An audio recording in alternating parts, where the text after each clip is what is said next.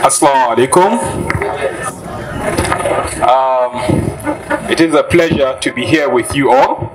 Uh, some of you may think that um, that's before now. Uh, some of you may think I'm a cartoon character myself. Uh, I'm sorry to disappoint you, I'm a human being, as you can see. So um, today I would like to talk to us about what I do as an editorial cartoonist um, in helping or um, how do I put it now, pursuit of good governance. You see, from the beginning of time, when man decided to live in maybe organized societies, um, man decided that um, there's the need for maybe assignment rules, assignments of roles, uh, responsibilities. So we have leaders, we have followers, and all of that. And um, with time, um, the need for accountability. Because as you have your leaders, you expect your leaders to do certain things for you, and then also the followers are expected to do uh, certain things. And as you know, time kept going, uh, we got to a stage where, for example, we're now in a democracy, say in Nigeria. And um, in countries where democracy is being practiced, um, there's uh, that need for accountability. There is more need for accountability from the leaders. And then came the media, you know, where the, the media as, uh, uh, acts as a bridge between the government and the people. Uh, the media tells the people what the government is doing. At the same time, the media tells the government what the people want, what the people are going through, and all of that. Um, what the government is not doing, what the government is not able to do, and like that, back and forth. Now, in the media, there's this small cluster of uh, people call editorial cartoonists. Editorial cartoonists, they don't write you know, the news. They don't make the news, but they make commentary about the news. Yeah, sometimes we make the news as well. Uh, when an editorial cartoonist is jailed, or when the first lady reacts to a cartoon and it's all over the media, we sometimes make the news. But our core objective is to make commentary to talk about what people are feeling, a kind of feedback, what people feel about certain government policy, or what people need, or how um, you know the society is being run, and all of that. Uh, interestingly, it's not just about the government. The cartoonists also turn around and look at the people, maybe what the people are doing, maybe wrongly, and all of that. So. Um, the editorial cartoonist basically tries to hold the government accountable. Why is this so important? Why why is it that a lot of people know editorial cartoonists, for example, Bulama, and they don't know many um, maybe uh, columnists, maybe by name? It's simple. We're living in a world where people, you know, um, have short uh, attention span, sort of. People are always moving. People are, you know, very few people have the time to sit down and read long articles, right? So sometimes, as an editorial cartoonist, what we do um, when we look at the opinions of people and what people are saying uh, uh, on a particular issue, we bring it out in a very small just a small piece of cartoon where you could just read it within seconds and you get what we're saying, right? And also, it's very important because um, our leaders also always moving around, jumping from one meeting to another. But when they see a cartoon, a simple cartoon, you know, it says it sends the message. Like this one, for example. Can we go back a bit? This one. Um, this cartoon, I made this cartoon for um, no, the beginning of this administration, you know, after winning the elections and all of that. And uh, we know how the first tenure went. A lot of promises were not fulfilled and all of that. And as you know, the popular uh, chronicle of the green car, here they are at the... yeah, so here this government has reached the next level and there's a sign, you know, welcome to the next level.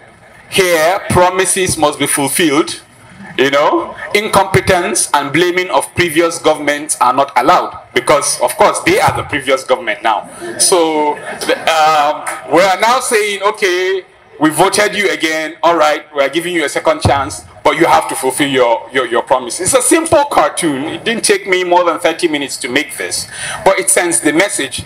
Next slide.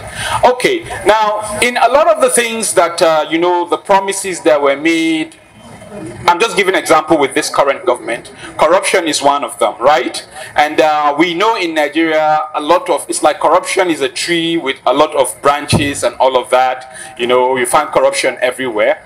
Here we see the president or the government trying, you know, to cut down corruption. But, you know, people who are who really, really understand some of these cartoons I make beyond just what is apparent will probably notice that they're just cutting the tree, but the roots are there. So it will still grow up. You get? So it will still come up. So unless you dig out the tree and get it out, you know, we'll still be here next, uh, who knows, uh, next cartoon. Okay, part of the promises that every, almost every politician, every government comes, it's okay, we're going to give you good roads and all of that. But there are roads that have been uh, since when, I can't even say, more than a decade, and they're still the way they are today in Nigeria. And people are dying all the time, you know, accidents everywhere. And you wonder, you see maybe uh, one, one project, construction project, one contract after another on the same road over and over and over again, and yet the road is not fixed, and still people are dying, right? So, my role as an editorial cartoonist is to tell the government that look, this is not uh, this is not good. This is what people are feeling, and all of that. Why do we do this? We're talking about good governance. Good governance, effective use of resources, right? The resources of a country, the resources belonging to the people, how the government effectively utilize these resources, you know, for the betterment of the people, right? So when you find yourself in a situation where the government is not using these resources or maybe with impunity and what have you, you find problems coming up. You start having conflicts. Let's go to the next slide right? Here we have a situation, for example, um, there are people in the southwest who wanted, you know, the June 12th, they had a lot of issues that need to be addressed. The people in the southeast, they also have their own issue. You know, they've not become, you know, they've not had a president in the southeast for a very long time. There's the issue of civil war and all of that. And then behind there is the north you know, with our poor education, with the poverty, with the insecurity, and we have the largest votes. We always give the largest votes, but you know, we're there somewhere, and I think we're still the way we are there. We're still the way we are. Right. Next slide. So this is one of the things you know we're talking about. We just talked about the Ruga, we talked about the Fulani and everything. You know, people in rural communities are dying every day because they are not on social media, they are not on Twitter, they don't have voices right? You just see a headline, uh, 52 people killed in Soso village, and that's all. Who are these 52 people? They are human beings you know and uh, you know the bandits and all of that they're having a field day they do it and they, they, they, they, go away and nothing happens so we keep talking about these things we have uh, we have sokoto we have katsina we have uh, you know northwest completely everything next slide okay so still the issue of insecurity uh, the green car surrounded by insecurity next slide still the issue of insecurity where you have your government warning bandits warning terrorists, you better stop what we are doing. We are not happy with what you are doing. And these people, you kept warning and you keep saying you take action, you know, your days are numbered. But, you know, it's it's like actions speak louder than words, right? So um, when you talk about these things, you throw warnings and all of that, and nothing is done. Well, they continue doing what they are doing with impunity. This guy is like, oh, is he talking to us? I, I, I don't know. I think he's talking to you. You know that kind of a thing. They don't care anymore.